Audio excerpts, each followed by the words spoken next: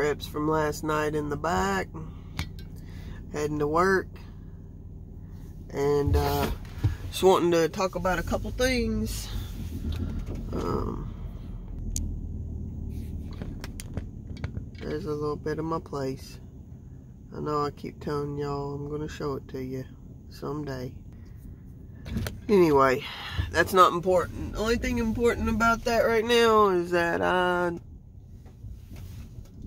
have it fenced in and I feel secure and have a basement somewhere to go during bad weather and during uh, any type of coming, um, well,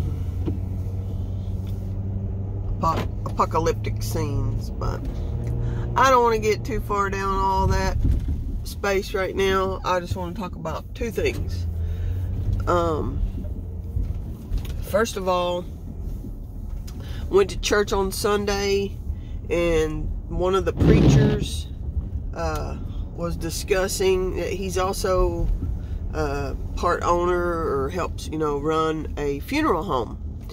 And he said during his sermon, he was talking about the cocoa and all that, and uh, the jabs, and uh, he said that uh, last year, 2020, they buried 29 people from the CV.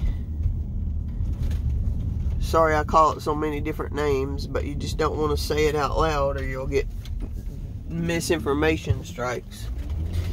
Uh, 29 people buried, and the federal government gave them $10,000 for each of those burials.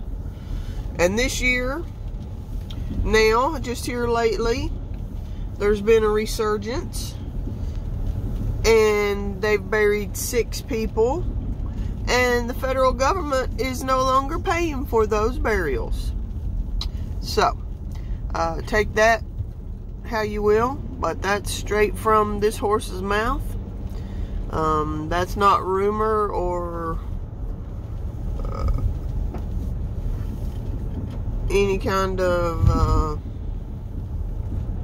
just speculation because I'm telling you that that's not a lie. That's what this this minister said, and he's a old-fashioned, old-timey regular Baptist minister, and that's what he said.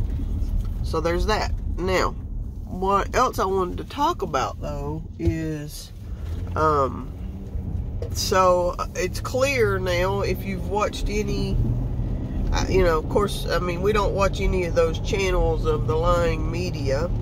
Um, but what's really funny is is the tides have now turned and they are coming down on Biden pretty hard.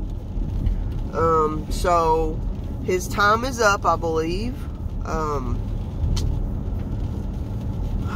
I, I, like I said, I didn't watch it. Mark Dice, you know, he always jokes and says, I'll watch this for you so you don't have to. So Mark Dice put out a video this morning, uh, his upload showing uh, CNN blaming Biden, MSNBC blaming Biden, uh, CBS blaming Biden. So clearly, um, Biden's time is short and what I'm just wondering is who's next, you know?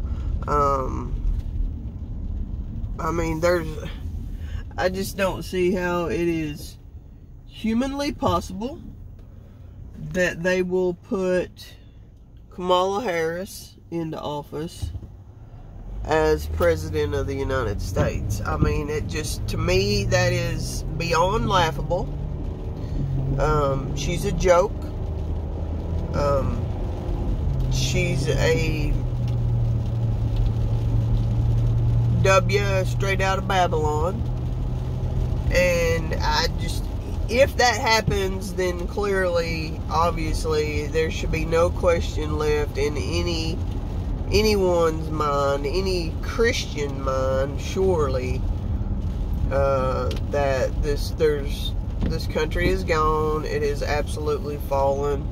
Um, I mean, who else could they put in? I don't know, you know, I don't know what's going to happen, but clearly I do not think that they're going to let this man stay in office. My, and my my thing's about to cut off. I'm sorry. Um, I don't think he's going to be in office long though.